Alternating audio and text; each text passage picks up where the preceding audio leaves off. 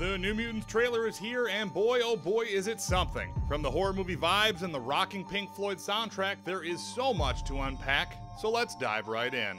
The trailer opens on a hallway in a facility with Dr. Cecilia Reyes talking to a young girl. Dr. Cecilia Reyes, of course, is the mutant force field and agent of S.W.O.R.D. But seeing as S.W.O.R.D. is part of the MCU, we think this will be modified as she seems to be more of a villainous character. We get the question, have you hurt anyone, with the girl answering yes, then showing numerated tombstones. This is alluding to the hospital being a place where mutants are experimented on, and those numbered tombstones are all dead experiments. The girl answering the question seems to be Danielle Moonstar, aka Mirage, or more recently just Moonstar which would explain the horror stylings of the film as Mirage originally had the ability to project people's fears into the real world. And since the New Mutants are all developing their powers, it looks like Dani's powers are running wild. We get shots of Dani being monitored for psychic ability by Dr. Reyes, most likely during the voiceover narration we are hearing. We get a very sinister shot of Dr. Reyes monitoring all of the children in the hospital with some eerie sound effects playing in addition to the Pink Floyd. We then get a full on wide shot reveal of the hospital with what appears to be the name Mercury Hospital, which is a new location for the X Men or Marvel universes. The hospital appears to be pretty run down as well, and is featuring a kneeling angel statue over a wishing fountain, which could mean that the Purifiers may be involved in this film as well. The Purifiers, of course, are a group of religious fanatics led by William Stryker, a character who has popped up a couple times in the X Men film timeline. The Purifiers believe that the mutants are corrupted souls being used by the devil to wipe out mankind and thus have a religious crusade to save mankind.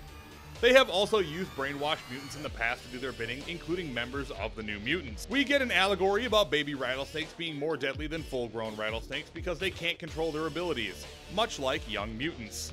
We are also shown a quick shot of some type of serum being fed into an IV bag with the same coloring as the monitoring device, which we saw earlier. This could just be a coincidence or a design choice, but it also could be linked to the treatments being done on Dani Moonstar. We are then shown all of the members of the New Mutants in the following order.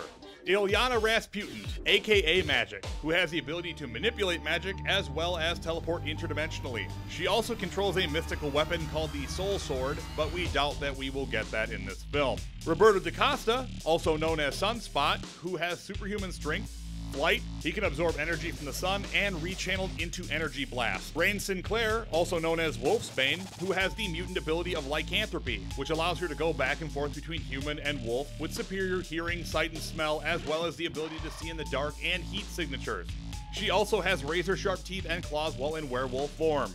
We have another shot of Dani Moonstar before moving on to Sam Guthrie, also known as Cannonball, who has the mutant ability of jet propulsion as well as being encased in an impenetrable force field while flying. After our introduction shots, we stay with Sam and doing a classic horror movie beat where he walks up to something and gets hit with a jump scare. The jump scare in this case is a dryer bursting into flames with a person's hand inside of it. Now, this could just be a vision, or it could be Sunspot trapped in the dryer. Not quite sure how he would get in there, though. There is a quick shot of Dr. Reyes with her face all slashed up, which would lead one to think she had an encounter with Wolfsbane, which didn't go very well. We are then treated to a series of shots with Dani Moonstar and some very Nightmare on Elm Street esque wall monsters, which look to be fear projections. Then we see Magic and Cannonball investigating something, which leads them into a patient's room, and we encounter a smiley face mask wearing assailant who proceeds to remove his mask, and we get a one frame look at what appears to be a monstrous face.